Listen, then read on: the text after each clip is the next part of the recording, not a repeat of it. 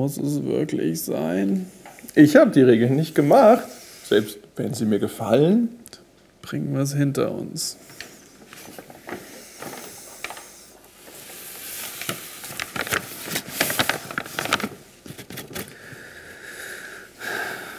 Es gibt große Neuigkeiten zur PC-Version von Forza 6, zu Gears of War und zu Quantum Break.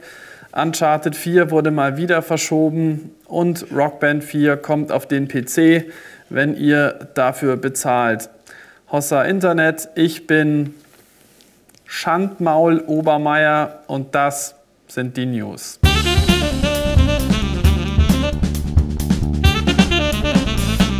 Gestern war es noch ein Gerücht, heute hat es Microsoft schon offiziell bestätigt. Forza Motorsport 6 kommt auf den PC und für Windows 10 Spieler ist das Ganze kostenlos. Es trägt den Titel Forza Motorsport 6 Apex und wird eine Free-to-Play-Version. Die ist aber deutlich abgespeckt im Umfang im Vergleich zum Xbox Original. Statt 450 Autos sind es nur 65 Autos und statt 100 Strecken sind es nur 20 Strecken. Trotzdem bietet die PC-Version exklusive Inhalte, nämlich DirectX 12 Grafikeffekte und 4K-Auflösung von der Xbox One übernommen wird, das Driver-Tar-Feature und Forza Vista. Außerdem hat Microsoft auch angekündigt, was vor einigen Wochen noch ein Gerücht war, nämlich dass Gears of War, die Ultimate Edition, ist ab sofort erhältlich im Windows 10 Store, allerdings nur außerhalb von Deutschland. Bei uns ist das Spiel immer noch indiziert und außerhalb von Deutschland kostet es 29,99 Dollar. Dann gibt es außerdem von Microsoft noch Informationen zum nächsten PC- und Xbox One-Action-Spiel Quantum Break. Die dürften aber nicht jedem gefallen, denn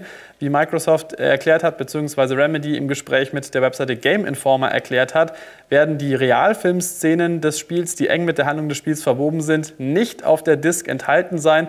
Das heißt, man muss diese herunterladen bzw. direkt übers Internet streamen. Bei der Xbox One hat man die Option, die Videos auf die Festplatte der Konsole runterzuladen.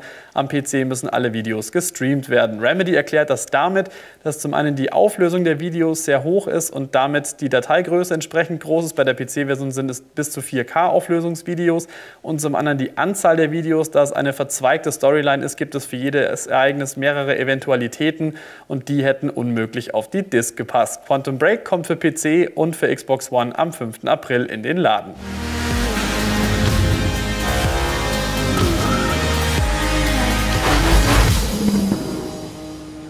Uncharted 4 kommt nochmal später. Wie Sony ankündigt, wird das Spiel um zwei Wochen verschoben und erscheint jetzt am 10. Mai. Der Grund für die Verschiebung ist aber nicht, dass das Spiel nicht fertig wäre. Das ist es nämlich.